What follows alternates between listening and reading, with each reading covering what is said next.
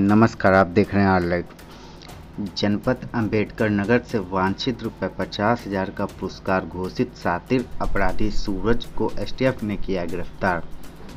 दिनांक दो छः दो हज़ार इक्कीस को एसटीएफ उत्तर प्रदेश को थाना बस खारी जनपद अंबेडकर नगर के मुकदमा आधार संख्या छत्तीस, सैंतीस, अड़तीस बटे दो हज़ार इक्कीस धारा तीन सौ पंचानबे में वांछित रुपये पचास हज़ार के पुरस्कार घोषित सूरज को गिरफ़्तार करने में उल्लेखनीय सफलता प्राप्त हुई।